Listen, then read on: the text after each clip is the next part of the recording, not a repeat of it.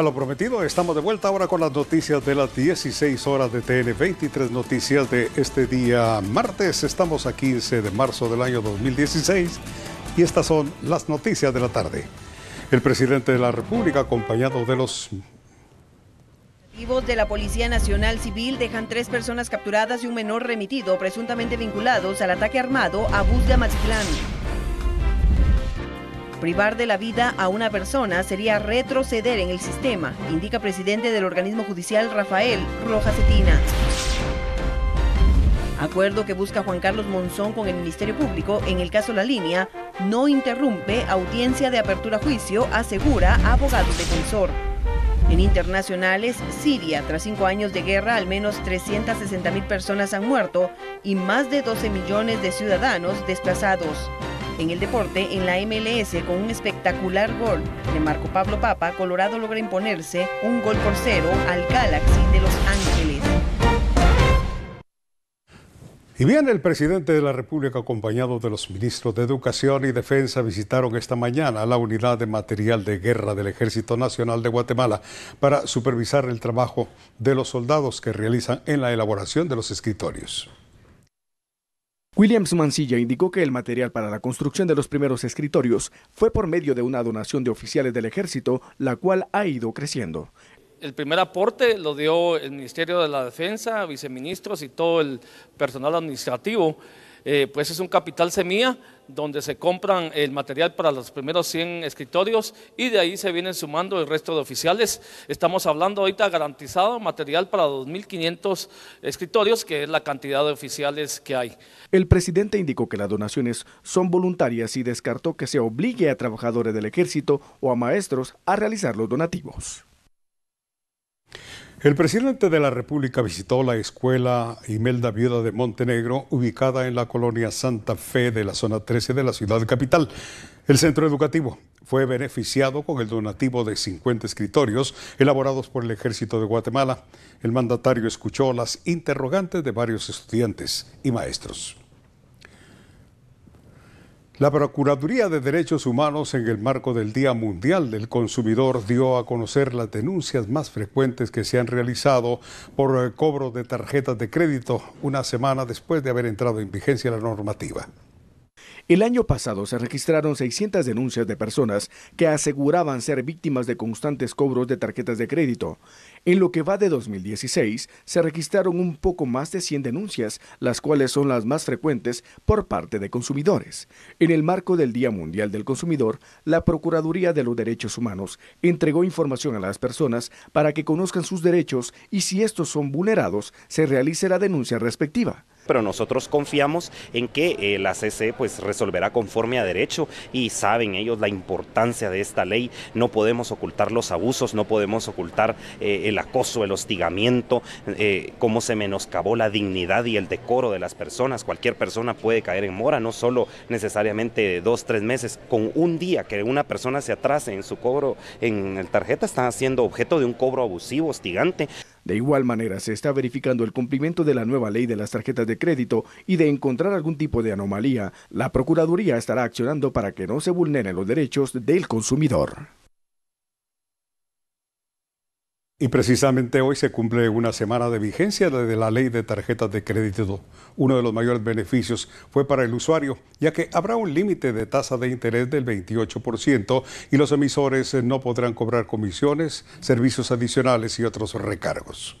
También se prohíbe el acoso en cobros y quizá lo más importante es que habrá un límite de crédito que no podrá ser mayor a los ingresos mensuales de una persona.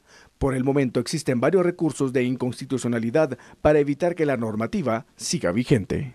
Tenemos que ver cómo se da la implementación de la ley para después proponer o definir nuevas medidas. Si yo gano 5 mil quetzales mensuales, el máximo de crédito que me puede dar la tarjeta de crédito son 10 mil, pero eso es para protegerme para evitar de que yo no me endeude más de lo que realmente la ley permite.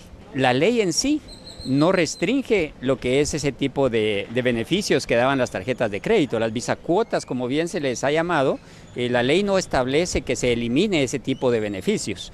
Lo que pasa es de que los eh, emisores de tarjetas de crédito, como ya no les está siendo rentable el hecho de cobrar los intereses que venían cobrando hasta el 60% anual eh, antes de la ley, pues lógicamente ahora ellos lo que están viendo es cómo eliminan algunos eh, beneficios que le daban a otros tarjetavientes, como el caso de Visa Cuotas.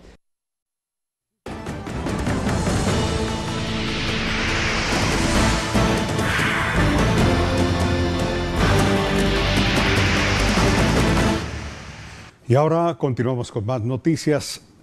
Delegado de la Dirección de Asistencia al Consumidor y de la Superintendencia de Administración Tributaria en Chimaltenango realizaron visitas sorpresas a expendios de medicinas con el fin de verificar los precios que sean los autorizados, además de la evasión de facturas. Según indicaron los comercios que no extiendan facturas, podrían ser sancionados con multas que van desde los 5 a los 10 mil quetzales o el cierre del negocio durante 20 días, más 350 comercios serán los inspeccionados. Aprovechando su visita al Congreso de la República, el ministro de Salud solicitó una ampliación presupuestaria para abastecer de medicamentos la red hospitalaria a nivel nacional. En la reunión de la Comisión de Salud, el ministro de la referida cartera indicó que ha solicitado una ampliación de 1.100 millones de quetzales para mantener una estabilidad de medicamentos y equipos en toda la red hospitalaria, ya que aduce que mantienen recursos únicamente hasta agosto o septiembre. También explicó que el Ministerio de Finanzas durante la presente semana le hará efectivo 2 millones de quetzales para la compra de más insumos, recursos que podrán cubrir 30 días. Por último, ante autoridades que asistieron a esta reunión, indicaron que han avanzado en un 20% en el trabajo en comparación con el gobierno anterior. Sí necesitaríamos, como dijo el señor eh, presidente de la comisión, más o menos 1.100 millones de quetzales para nosotros sería extra, esté por encima de nuestro techo. Podría ser proveniente, como usted dice, de una readecuación del presupuesto, ¿verdad? O podría ser con ampliación del presupuesto. El presidente de la Comisión de Salud dijo que le preocupa la situación, ya que monitoreos de la Procuraduría de los Derechos Humanos, la falta de insumos se agudiza en varios departamentos, principalmente en Puerto Barrios y Zabal, donde no existe una mayor atención a las personas. Tenemos desabastecidos los hospitales, tanto Roosevelt como el General San Juan de Dios, en, índices de medicamentos esenciales abajo del 15%. Eh, eso tiene un tiempo perentorio que debe acatarse en un periodo de 30 días y ya hay un plan de trabajo por parte del Ministerio de Salud, pero para poderlo llevar a cabo se debe decretar ese estado de calamidad. Autoridades del Ministerio de Salud confirmaron que hay más guatemaltecos con el virus del Zika. En las últimas semanas de esto, casi medio centenar son mujeres embarazadas, por lo que los riesgos son alarmantes. Cuatro departamentos presentan las cifras más altas de casos confirmados del virus Zika, según un informe del Centro Nacional de Epidemiología, que además detalla que más de 35 mujeres en estado de gestación han contraído ese virus. Si sumamos los casos de 2015 y de 2016, tenemos 261 casos confirmados entre los dos años. En el tema de mujeres embarazadas, ¿cómo se ha mantenido esta estadística? Pues hasta la semana 25 teníamos, ah, ah, perdón, hasta la semana del 20 de febrero teníamos 25 casos de mujeres embarazadas, ahora tenemos 38 casos de mujeres embarazadas. Esto siempre ha significado que ha ido en incremento, pues se está dando más barridos, se está conociendo más, la gente está asistiendo más a los centros de salud. Por ahora el Ministerio de Salud mantiene una alerta epidemiológica en 13 áreas de salud, ya que se sospecha de al menos 500 casos más. Y esto es para usted la causa número uno del cáncer en la piel es la radiación solar, riesgo que incrementa en esta época del verano. Por tal razón, el Instituto Nacional de Cancerología brinda algunas recomendaciones para la temporada. Estar expuestos a los rayos solares sin tomar precauciones puede tener consecuencias trágicas y es que hay riesgo constante de contraer cáncer de piel, el cual está entre las enfermedades más comunes que pueden poseer las personas. La gran ventaja de piel es que es evidente Sí, inmediatamente lo ves. Un cáncer de mama está adentro, la piel no, cualquier granito, roncha, ulceración, descamación rojiza o picante de la piel en cualquier área, hay que evaluarla por un médico. Así que si piensa viajar durante la Semana Santa, le recomendamos lo siguiente. Usar siempre los protectores solares. Todos los protectores solares son buenos, ¿sí? Pero el básico que se debe empezar a usar es que tenga protector solar 30. 30 para arriba es mejor, aunque entre un protector 30 y un 60 la diferencia es muy poca y el costo es muy alto. Esa es una recomendación a la población. Con un 30 es suficiente. Se debe usar en abundancia en las áreas más expuestas al sol, a la hora que hay más sol, y si la persona se mete en agua hay que volverlo a usar.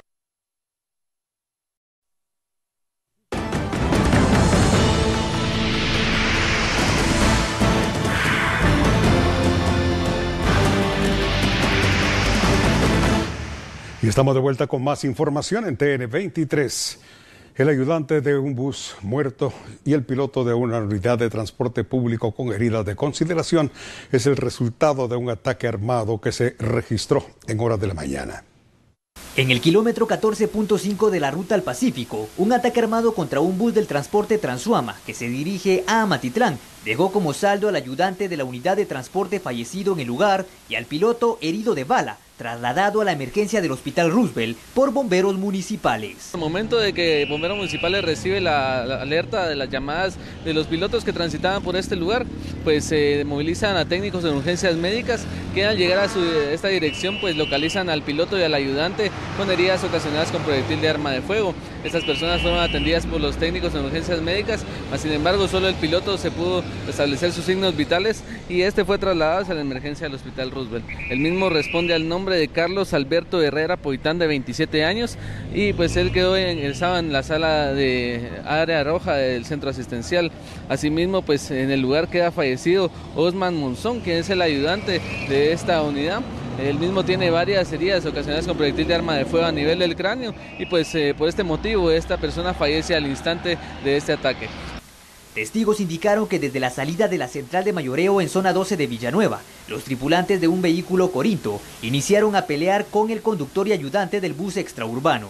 Al momento de llegar al lugar del ataque, el automóvil interceptó a la unidad de transporte. Uno de los individuos descendió y disparó de forma directa contra los transportistas. El hecho se registró a pocos metros de la estación de la Policía Nacional Civil del sector. Para TN23, con imágenes de Denis Zacarías reporta Julio Hernández. Tras el ataque, las fuerzas de seguridad lograron la captura de tres adultos y un menor de edad remitidos. A esto se les señala de estar presuntamente vinculados al ataque armado registrado a esta unidad de transporte público.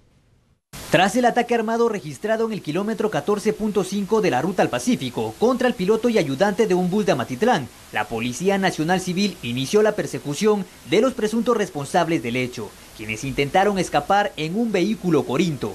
Tras el operativo, fueron capturados tres adultos y se remitió un menor de edad, los cuatro son presuntos integrantes de una clica de la Mara 18. Inicia una persecución en el sector del kilómetro 14 de la ruta al Pacífico, luego que la investigación determinara de que unos hombres a bordo de un vehículo de color corinto escapaban luego de disparar en contra de la humanidad de un piloto y un ayudante de un bus extraurbano.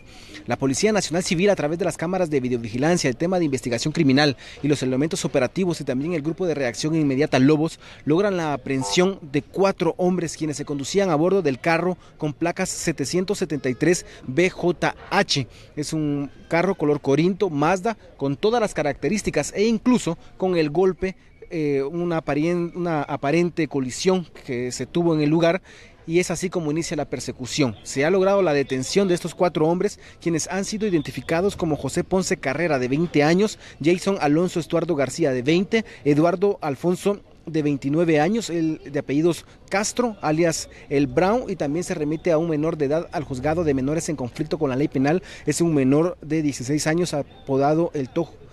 A los presuntos sicarios se les incautó tres armas que portaban de manera ilegal.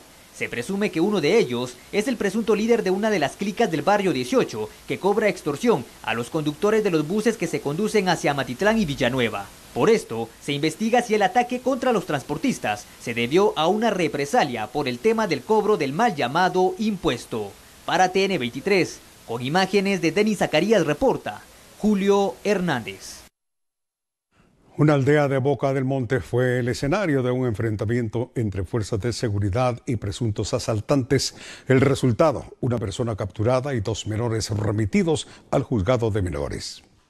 En la aldea Boca del Monte, municipio de Villacanales, un enfrentamiento entre agentes de la Policía Nacional Civil y presuntos asaltantes dejó como saldo un adulto capturado y dos menores remitidos al juzgado de menores en conflicto con la ley penal.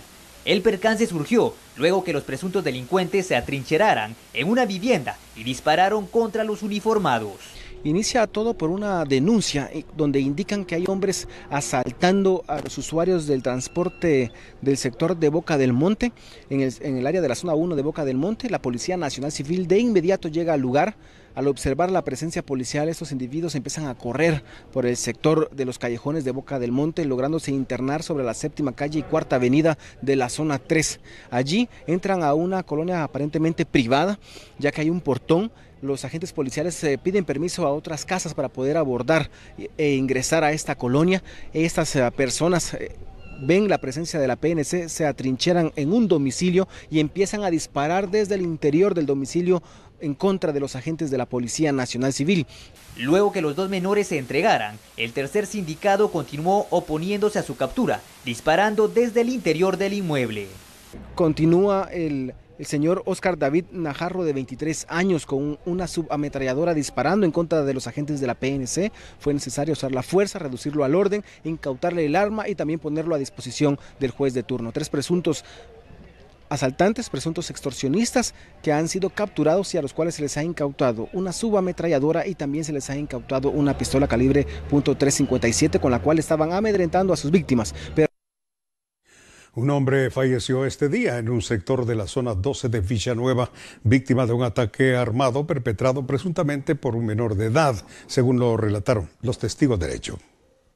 Cuando se dirigía hacia su lugar de trabajo, un hombre fue asesinado a balazos en un sector de la colonia La Esperanza, zona 12 de Villanueva. Los vecinos del sector dieron aviso a los socorristas de bomberos municipales, quienes no lograron salvarle la vida a la víctima. de esta mañana, bomberos municipales acudimos a la manzana H, sector D2 de la colonia La Esperanza, zona 12 de Villanueva, ya que se nos reportó sobre el ataque armado con una, persona. Al de los técnicos en urgencias médicas localizaron al señor Miguel Ángel González Ábalos, de 42 años de edad, lamentablemente fallecido, ya que presentaba múltiples heridas de proyectil de arma de fuego en diferentes partes del cuerpo. Técnicos en urgencias médicas hicieron todo lo humanamente posible por salvarle la vida, pero lamentablemente las heridas penetraron puntos vitales, lo cual le cegaron la vida. Él fue identificado por su hermana Sandra Yanet González Ábalos, quien indicó que su familiar había salido a laborar, por lo que hasta el momento ya desconoce las causas del ataque armado. Se presume que el responsable del ataque armado fue un menor de 17 años, quien se dio a la fuga en los callejones de la colonia La Esperanza. Según las primeras investigaciones, el fallecido se encontraba amenazado de muerte desde hace varios días. Para TN23, con imágenes de Denis Zacarías reporta Julio Hernández. En el departamento de Huehuetenango, un joven de 17 años resultó herido presuntamente por una bala perdida. El menor fue trasladado al centro asistencial para que recibiera atención médica. El menor Junior Jiménez Bahamaca de 17 años fue herido posiblemente con una bala perdida cuando regresaba a su vivienda ubicada en la aldea El Zapote del municipio de Cuilco, Huehuetenango, por lo cual fue trasladado a la emergencia del Hospital Regional Jorge Vides Molina de la cabecera departamental, donde a su ingreso se le practicó una cirugía para determinar los daños ocasionados, ya que presentaba la herida en el abdomen y según el progenitor el menor había salido a ingerir bebidas embriagantes. Pues creo que es una bala perdida, como no se da de noche, o sea, nosotros no, nos damos cuenta. Estamos en la casa, pues, de noche nos salió un, y él tardó, estaba tomado. Solo así sabe, sería algún, alguna gente, sí, tal vez buscando animales, a ver, la verdad, como no hemos tenido problemas nosotros. Al regresar, presidente del organismo judicial da a conocer su postura respecto a la relación de la pena de muerte.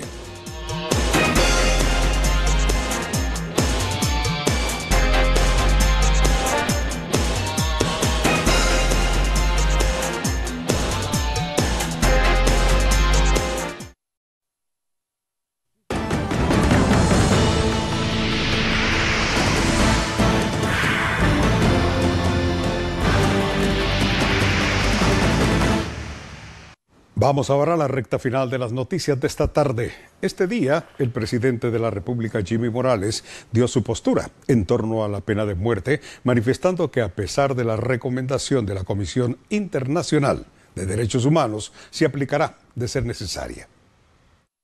De igual cuenta, solicitó que no se proceda a continuar con la propuesta de la posible aplicación de la pena de muerte y este día se cuestionó a Jimmy Morales sobre el tema y expresó que respetará la ley y cumplirá con la supremacía constitucional, de acuerdo a lo que dicta el artículo 18 de la Constitución Política de la República. Lo que está en veremos es el tema del indulto presidencial, que es un tema de Congreso de la República. Si el Congreso de la República lo traslada, pues entonces nosotros tendremos que sancionar o vetar la ley, pero nosotros hemos creído que el Ejecutivo lo único que tiene que hacer es ejecutar los presupuestos y los planes que sean aprobados por el Congreso de la República y ejecutar lo que la justicia de Guatemala le plantee. Así es que nosotros no discutiremos la ley, sino que la cumpliremos. A decir del presidente del organismo judicial, Rafael Ojacetina, privar de la vida a una persona sería retroceder en el sistema. Esto a raíz de que los guatemaltecos han manifestado su apoyo a la pena de muerte. Respecto a sentenciar a alguien a la pena de muerte por la comisión de ciertos delitos, el presidente del organismo judicial, Rafael Rojas Cetina, dijo que reactivar esa máxima condena privando de la vida a una persona sería retroceder en el sistema. Bueno, pues prácticamente estaríamos retrocediendo toda vez de que lo que se pretende es mantener el, criterio, por ejemplo, de la protección a los derechos humanos. Sabemos que existe cualquier requerimiento en cuanto al, enjuiciamiento de las personas que cometen hechos delictivos.